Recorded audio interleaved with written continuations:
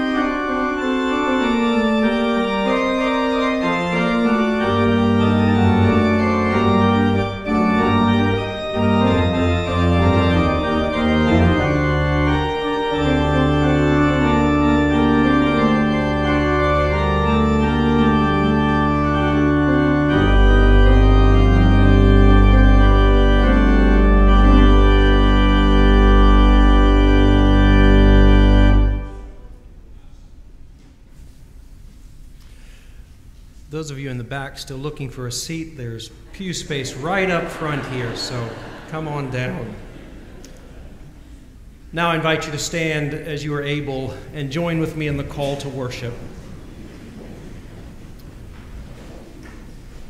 Let praise of God resound in the heavens. Open your hearts and spirits this day.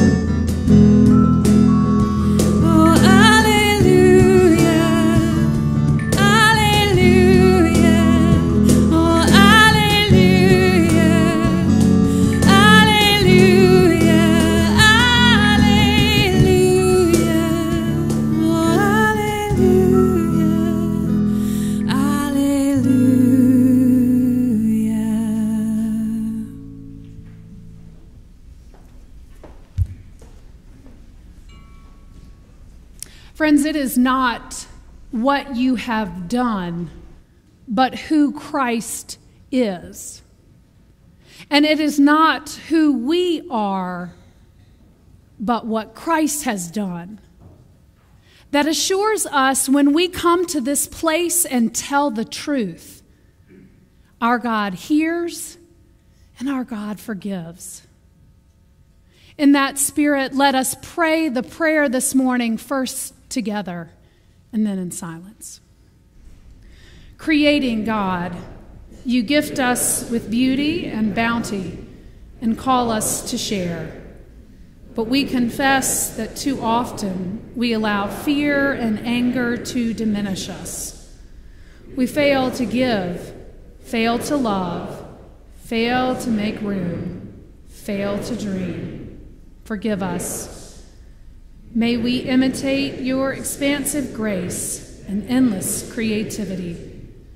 Draw us desire to be part of a serving community where all are welcomed and none are forgotten.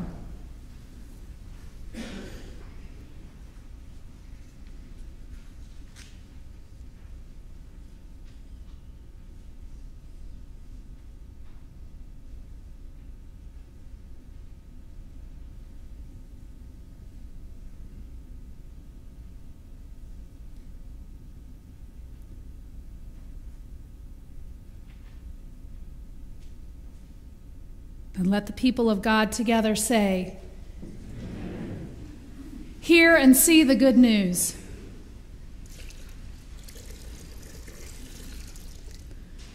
Our God is slow to anger and abounding in steadfast love.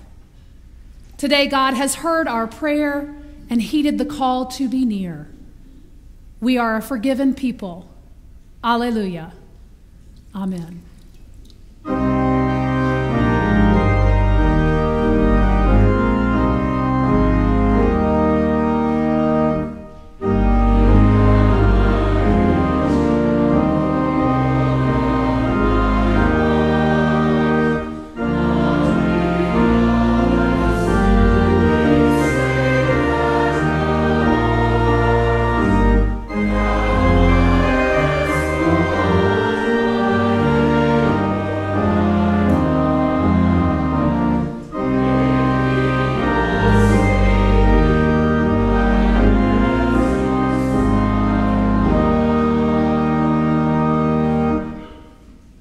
Love and in joy. We pass the peace that passes understanding, for it is the peace of our Lord Jesus Christ. Friends, the peace of our Lord Jesus Christ be with you.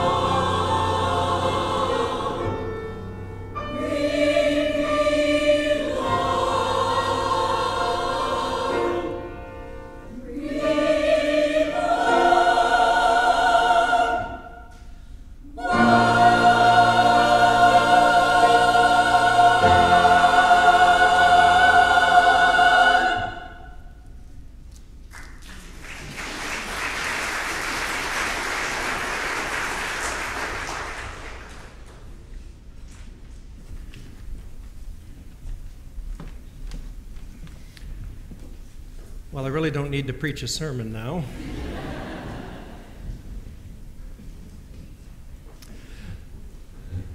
Let me pause for just a moment as I stand in this pulpit for the first time to say how grateful I am to be here with you all. David Bartlett was a professor of New Testament at Columbia Seminary, and on the day of his last lecture, uh, students and faculty gathered outside the classroom, and when he came out, they gave him a round of applause. And then they waited to hear what he would say uh, in this special moment at the end of his distinguished career. And for a moment, he was choked up. And then he said, In the end, it's all thanks. In the end and in the beginning, it's all thanks. My thanks to the PNC. I've seen several of you here this morning for the journey that we took together. My thanks to so many of you who have paved the way for me to arrive here today and have welcomed me. Those of you who've helped to set up my office. Uh, my thanks to the staff. Uh, for their commitment and their creativity and their faithfulness. My thanks to Heather for answering more than a few questions for me, to the musicians and the choir for providing our beautiful music today. My thanks to all of you for making this place the special place that it is. My family, Emily and Anna and Ella for knowing me and loving me anyway. And my thanks to my dog Mo for putting up for all of this transition. In the end and in the beginning, it's all thanks. So, thanks. So let's get to it. Will you pray with me? Let the words of my mouth and the meditations of all our hearts be acceptable in your sight, our rock and our Redeemer. Amen. Our scripture reading this morning comes from Paul's first letter to the church in Corinth. Listen for what the Spirit is saying to us. I keep forgetting there's people up there. All of you, listen for what the Spirit is saying to us. Now, there are varieties of gifts, but the same Spirit. And there are varieties of services, but the same Lord. And there are varieties of activities, but it is the same God who activates all of them in everyone. To each is given the manifestation of the Spirit for the common good. To one is given through the Spirit the utterance of wisdom, and to another the utterance of knowledge according to the same Spirit, and to another faith by the same Spirit, to another gifts of healing by the one Spirit, to another the working of miracles to another prophecy, to another the discernment of spirits, to another various kinds of tongues, to another the interpretation of tongues.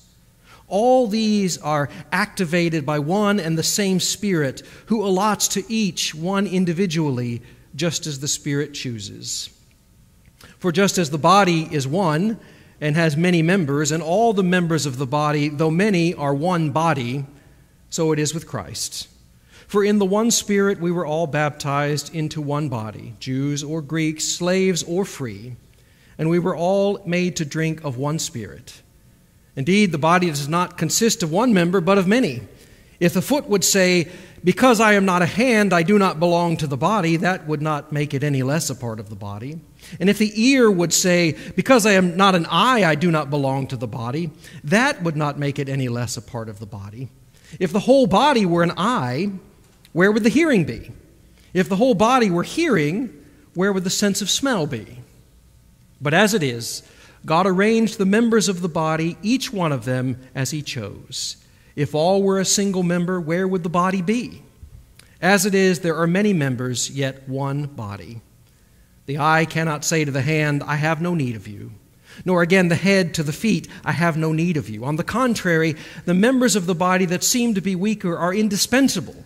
And those members of the body that we think less honorable, we clothe with greater honor. And our less respectable members are treated with greater respect.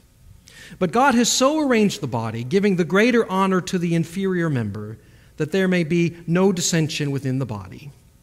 But the members may have the same care for one another. If one member suffers, all suffer together with it. If one member is honored, all rejoice together with it. Now you are the body of Christ and individually members of it. This is the word of the Lord. Thanks be to God.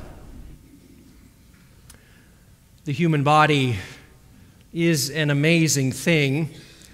Now, sometimes when you crawl out of bed in the morning, it doesn't feel so amazing, but consider this. A single human body contains a hundred times more cells than there are stars in the galaxy. There are 100 trillion cells in your body and about 200 different kinds of cells. These 100 trillion cells are orchestrated into one magnificent symphony, synergizing with each other for the sake of the whole body. The simplest act Raising your right hand, for example, requires muscle fibers from the head to the toes and from both sides of the body.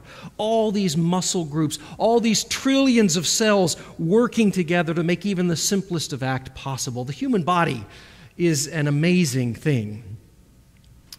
But as we know too well, it's a fragile thing, too subject to toothaches and sprains and strains and rashes and fractures and viruses and just plain wearing out. And I'm just talking about the last two weeks for me. the human body is amazing, but it is fragile. We should keep this in mind as we consider our scripture reading for today. Paul imagines the church as a body, the body of Christ. And like all bodies, the church body is an amazing thing. Just like the human body, the church body is made up of millions of different cells all working together. Consider the amazing diversity of churches and practices that claim the name Christian. From the majestic high mass in St. Peter's Basilica to the quiet simplicity of a Quaker meeting from the intellectual sophistication of St. Thomas Aquinas to the moving simplicity of a spiritual, like, Lord, I want to be a Christian in my heart. All this is Christianity. Now, I don't know you all that well yet, but I suspect there's some diversity here in our body as well. Maybe not as much as we would like, but still different genders and ages and backgrounds and perspectives and sports allegiances. Some of us have been Presbyterian our whole lives. Some of us can't even spell Presbyterian. Some of us believe all the right things. Some of us aren't really sure what we believe anymore. Some of us want to worship in the traditional way, maybe the way we worshiped as children, the way our parents and our grandparents worship, calls to worship, prayers of confession, organs, and hymns. Some of us have grown weary of traditional worship or never experienced it in the first place, so we're longing for another way. Some of us enjoy all different kinds of worship. Some of us don't like any kind of worship at all and only come because our spouses or our parents make us come. It's true, we can admit it we are a diverse body. And Paul is saying that diversity is a good thing. It gives us resilience. It allows us to be strong and creative in the midst of a changing world. It expands the range of people we can connect with and the, the beautiful things that we can do together. But diversity, which can be a great strength, can also be a cause for division. In our reading, Paul talks about what happens when one part of the body begins to think the other parts should all be like it. Instead of seeing diversity as, as a strength to be celebrated, it sees it as a threat to be eliminated. The eyes think everybody should be eyes, the, the hands think everybody should be hands. It is the perennial human temptation, isn't it? To think our way is the way our way of believing, our way of behaving, our way of worshiping, and then to cut ourselves off from anyone who believes or behaves or worships differently. I called this sermon Remembering the Body. Of course, I want us to remember that we are a body, not a club, not an association, but a body, an organic whole knit together in love. And that means we can't just cut ourselves off from one another. We are called into wholeness by God. And we become all God created us to be only in communion with each other. We are a body, and we need to remember that.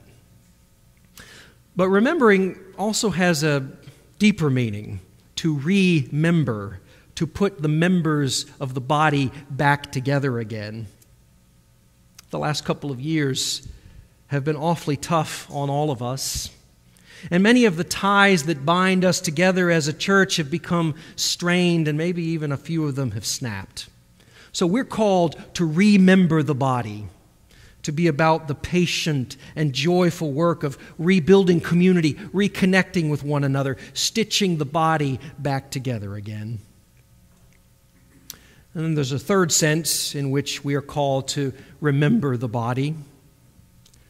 Remember the wounded body of the world. Remember the people on the outside. Remember those in our neighborhood and throughout the world who are broken and despairing and desperately in need of the grace and love that we can offer. That's why we exist as a body in the first place. Well, this is my first sermon here, of course, and the first in a series I've called Odd Practices. Flannery O'Connor famously said, You shall know the truth, and the truth shall make you odd. Faith invites us to see the world differently, to live differently. And so we're going to think about some of the odd practices that we are called to undertake together as people of faith.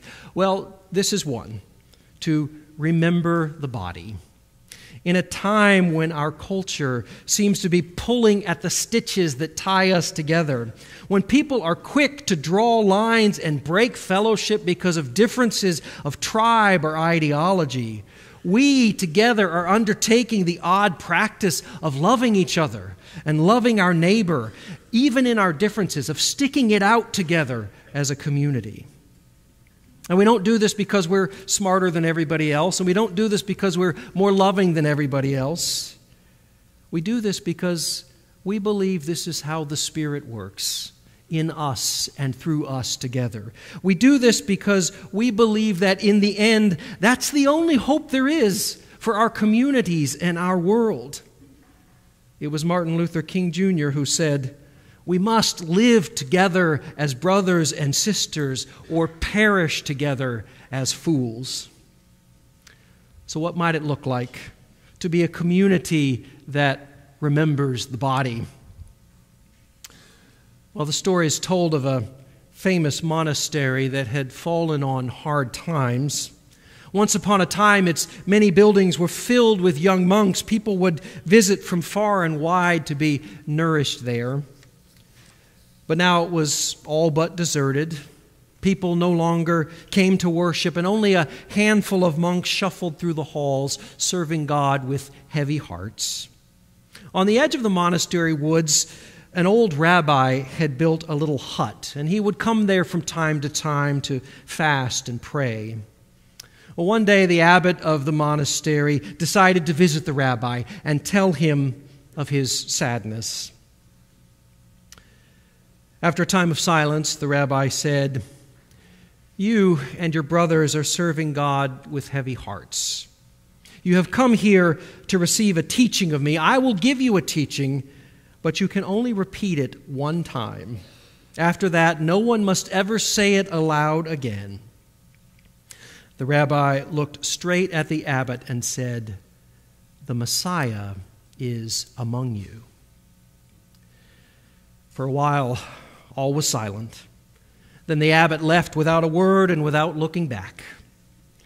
The next morning, the abbot called his monks together. He told them he had received a teaching from the rabbi and that the teaching could be spoken aloud only one time. The rabbi said, The Messiah is among us. Well, the monks were startled by this. What, what could it mean? Is, is Brother John the Messiah, or Brother Matthew, or Brother Thomas? Am, am I the Messiah? Or what if it's not one of us, but one of the, the visitors that we receive? They were all deeply puzzled by the rabbi's teaching, but no one ever mentioned it again. As time went by, the monks began to treat one another with a new and very special reverence. A gentle, warm hearted spirit began to grow among them. The teaching took root in their hearts, And they began to live with both contentment and expectation. When visitors came to the monastery, they were deeply moved by the life of these monks. They too were treated with great compassion and reverence, for who knows? One of them could be the one. Word spread, and before long, people were coming from far and wide to worship with these monks and experience their loving spirit. Soon, other young people were once again asking to become a part of the community. And the community grew, and the flame was rekindled, and hope was reborn. Well, friends, I am no rabbi wandering in the woods, but I have a teaching for you. The Messiah is among us. And so we are called to love one another. We are called to set aside fear and self interest. We are called to work together with passion and grace, to engage in the odd practice of remembering the body. This is our challenge. This is our calling. And if we will let it be, this is our joy. Thanks be to God. Amen.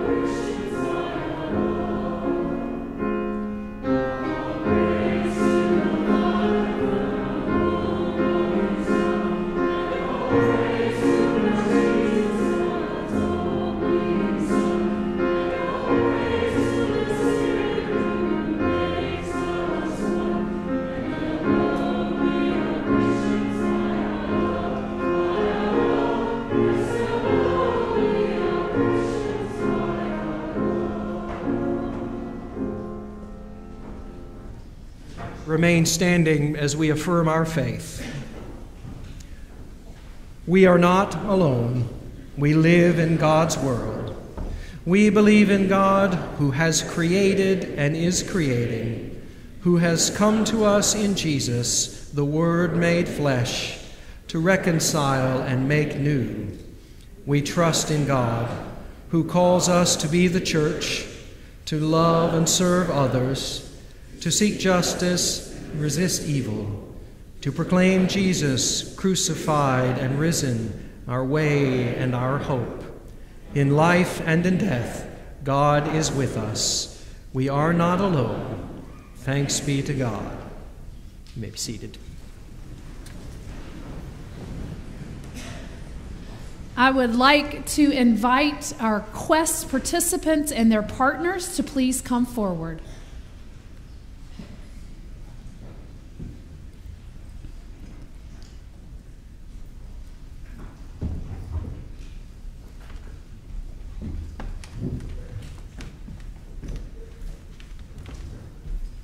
Don't y'all stand on the top step and then the kids can stand? Yeah.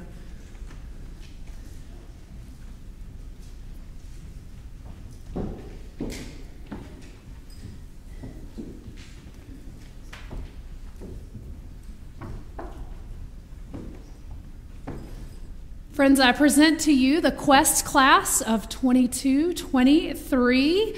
This is a wonderful group of young people and adults who have come alongside them. As you might know, our Quest class meets from September through April. They talk a lot about different topics, discussing our Reformed heritage as Presbyterians. They pull out topics like how can God be three in one and one in three at the same time? Who wrote the Bible? I still have an issue with the whole, you know, only men. They discover all kinds of things about their own faith, and their partner discovers things about their faith. It's a wonderful relationship that is nurtured through the baptismal liturgy and promises that you all made to many of them when they were born.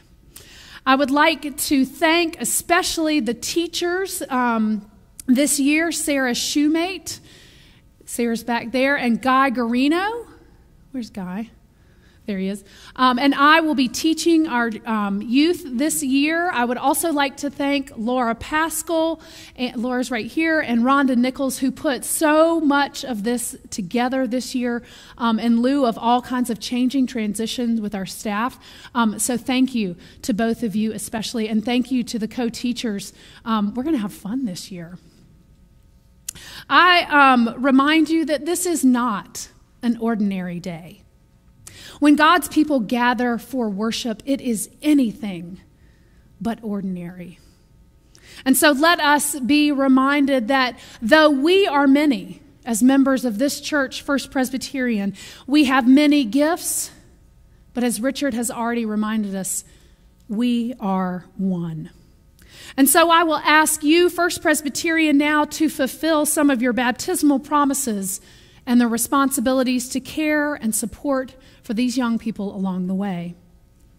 Will you, the many members of First Presbyterian Church and the one body of Christ, commit to hold these young people close to your hearts in prayer? Will you? Will you pledge to be a congregation that welcomes their questions and their doubts. Will you? Confirmation partners, I ask you, will you covenant to be with them on their journey, fulfilling your role as partner each step of the way? Will you? And participants, questers, I ask you, will you seek to be eager and willing participants? ready to learn, to share, to be excited. For this, your journey of quest and confirmation faith, will you, questers? I would like to introduce to you, I have a paper here so I don't forget anyone, our participants this year. Carson Berry, right here. Her quest partner is Kathy Davis, and Kathy is not able to be here this morning, so Megan Texer is standing in. Alex DeBettencourt and his partner is Jim Campbell. Lucy Rose East, her partner is Ryan Lovern. Banks Lovern and his partner is Keith Nichols. Abby Smith and her partner is Mandy Hildebrand. Felix Yerudi, whose partner is Zach Taylor, and Robert Winfield, whose partner is Dave Rao. Kennedy Taylor is also a quester but could not be here this morning, and Megan Texer is her quest partner. And now I ask you, having met these wonderful young people, will you, members and leaders of this church, quest teachers, confirmation partners. Will we together, as the body of Christ, covenant to be faithful disciples of Jesus in word and in deed, in study and service, in work and play. And let the church resoundingly say, We will. Let us pray.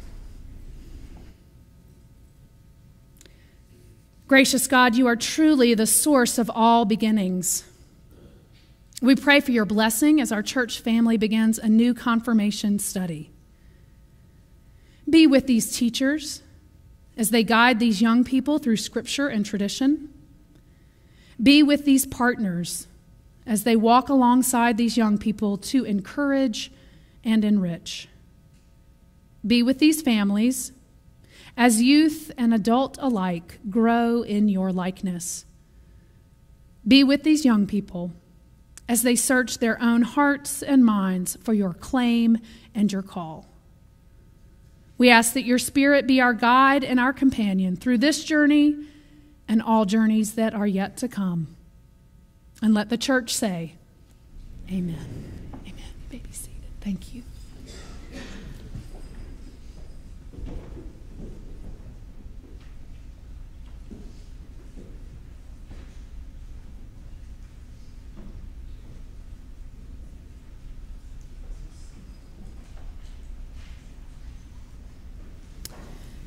It is in giving that we truly receive, and having seen these young people, having heard our new pastor, I don't see any reason that you shouldn't dig deep and find a way to continue to support the good things that God does through this congregation in this place.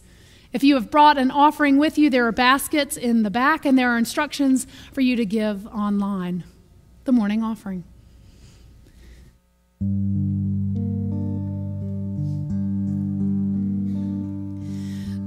Christ has nobody now but yours.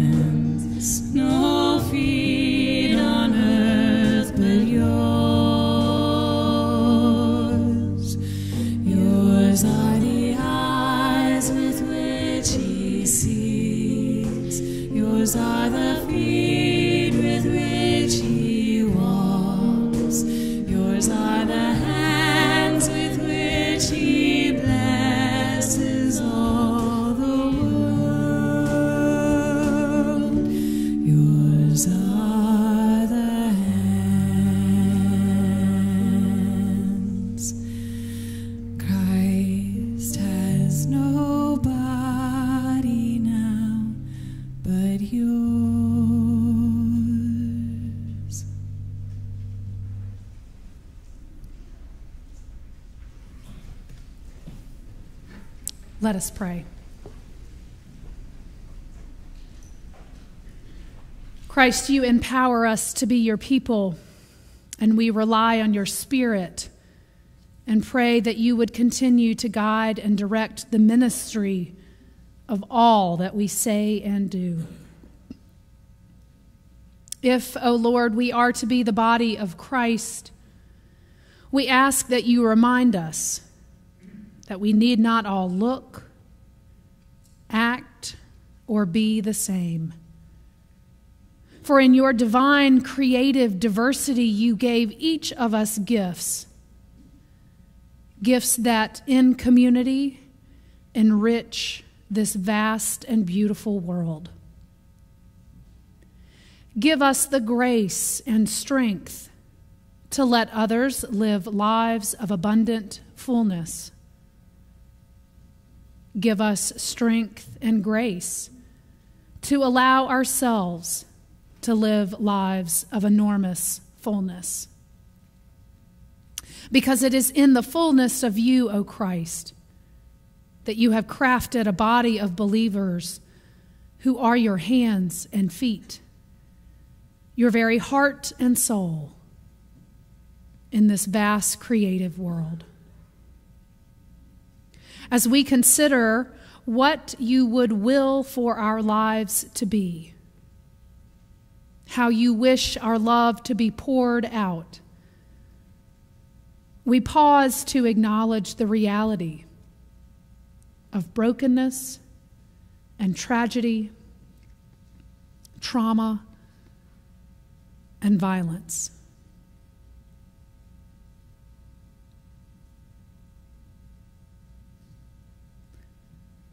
For wounds that take time to heal, we ask for loving patience. For in remembering this day, so much was wounded. But in you, O God, the body survives, the body thrives, and the body is resurrected. Claiming these truths, may they strengthen this body of believers who are bold enough to pray the prayer that Jesus has taught us to pray, saying, Our Father,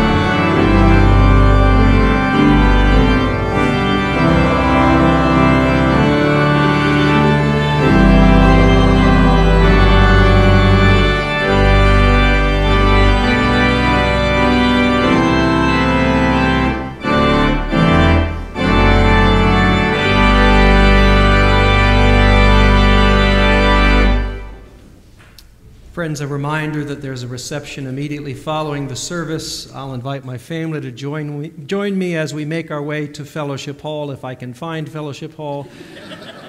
if I don't make it, I trust one of you will come and find us. Friends, let us go out remembering the body. Let us go out loving one another, loving our neighbor, living with hope and with joy. And as you go, may the Lord bless you and keep you. May the Lord be kind and gracious to you. May the Lord look upon you with favor and grant you peace now and always. Amen.